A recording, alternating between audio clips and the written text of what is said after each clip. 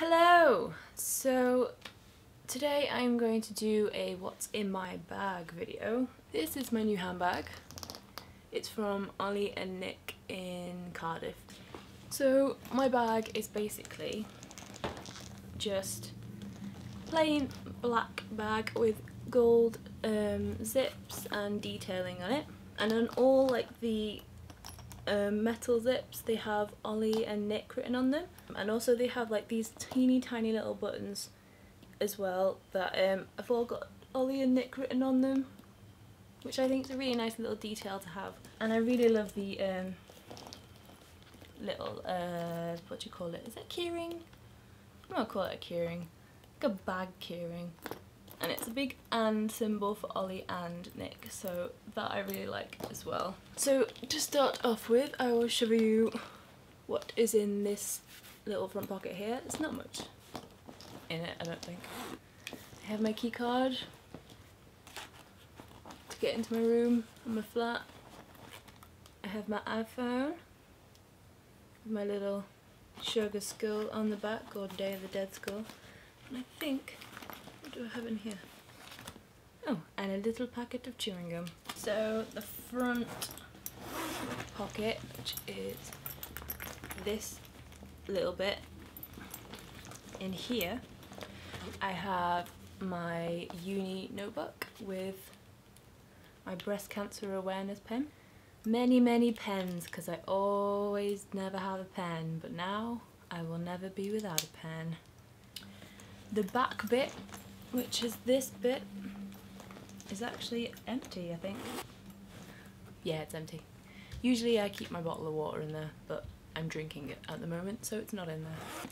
See I have like this big zip down the middle and if you open it up I also have you can see that there's this sort of compartment bit here and then this compartment bit here and then there's like a middle compartment bit which I use as like an inbuilt makeup toiletries bit.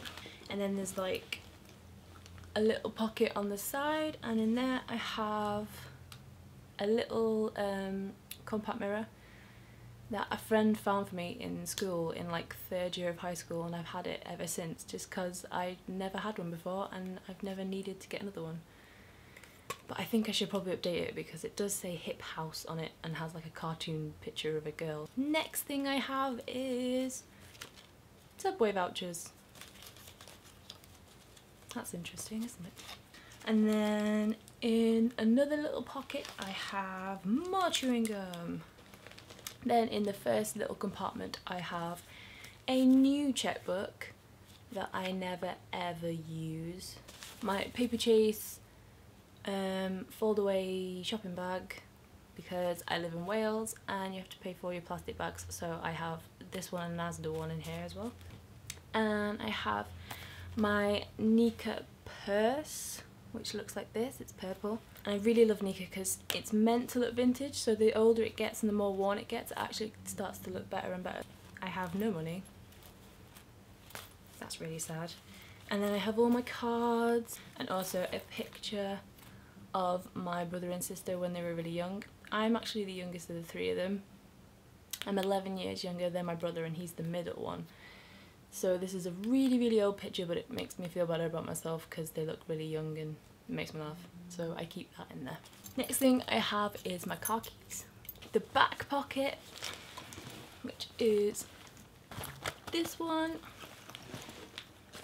there is an umbrella from a shop called Octopus, which I don't think exists anymore. I think it's closed down. And it is supposed to have a doll's head on the top. But I went to Italy and I was messing about with it and I snapped it off by accident. So now it doesn't have a head on it, but it's just like a purple umbrella. And it's got like little wellies on because it was a doll, but I ripped her head off. And it goes in this lovely little waterproof silver bag so that it doesn't get all your stuff wet when it's been raining you put it back in your handbag so I can put it in this and everything stays nice and dry. I also have a pair of extremely dirty scratch 3D glasses which I probably would never be able to use so I have no idea why they're in there. Another Asda packer bag thing. Next bit which is this middle section here. I have some packet of tissues from Primark, a travel packet of simple kind to skin facial wipes, my Nivea Pearl and Beauty 48 hour deodorant spray, little travel size just in case you forget in the morning, some Tesco protecting antibacterial hand gel, Vaseline um, aloe vera hand lotion which is really really good and I love anything with aloe vera in so I always um, have products with aloe vera and this is amazing which is why I have it in my handbag. Oh, I have this a little tub of Vaseline again with aloe vera that I never use because I don't really like it that much. I've sort of gone off the Vaseline lip care products because they make your lips like really greasy and I don't really like it so I've got my Burt's Bees lip balm which is not in my handbag because I've just used it so this is in there instead just in case I forget my other one and I'm like oh no I need some sort of lip care and so I keep this in there even though I'm not a massive fan of it. I wanted some foundation to carry around with me but I obviously didn't want to carry like my big foundations. So instead I grabbed some of my testers. So I got my two um, Dior Nude Skin testers just in case I need a bit of a touch up.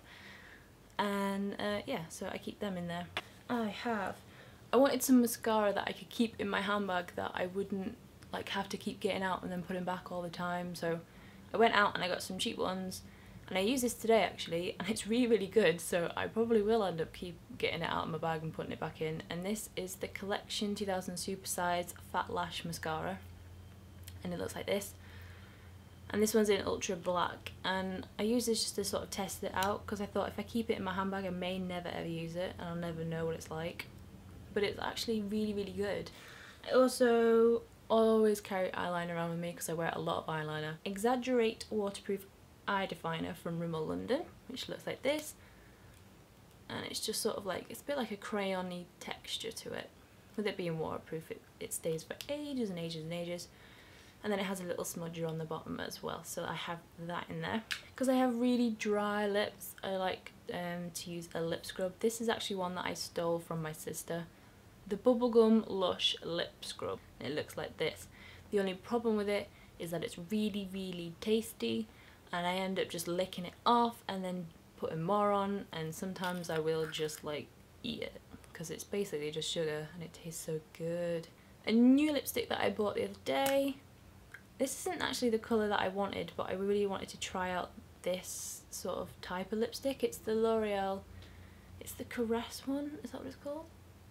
Caresse and this one is in 04 Rose Mademoiselle. It's a really really lovely texture. It's a bit like reminds me a bit like the Revlon um, lip butters, like it's really, really moisturising, it's not very drying, so that's really excellent for me. I love those type of lipsticks because I have really dry lips and it's really hard to sort of um, get the colour to look nice because they sort of stick to areas, but this, because it's so moisturising, it's a lovely, lovely product to use, so I did originally want the Dating Coral one because that's a gorgeous coral colour, so I might go out and get that sometime this week. And last but not least, my all-time favourite purchase ever. I only got this the other day, and I don't know why I've never had one before. It is my green Travalo. If you haven't got one of these, you seriously need to get one because they are fantastic. In this one at the moment, it's got quite a lot in it actually. This is my um, Jimmy Choo perfume that I've got in here at the moment. So that is all for now. One thing I am going to include at the very very end of this video is a little picture of what my Halloween makeup is going to look like because it's Halloween on Wednesday. I have my pumpkin in the background behind my candle and yeah so I decided to do a Day of the Dead Skull makeup so I'm going to put a picture at the end of this video so you can all check that out. Also if you want to go and check out my blog there will be like a step-by-step -step um, post up there of how I did it and what products I used as well. So go and check that out, I'll put the link um, in the description below. Also remember to subscribe to this channel, also go and check out my vlog channel which will also be in the description below. Remember to subscribe to that channel as well. So I hope you enjoyed this video and I will see you next week.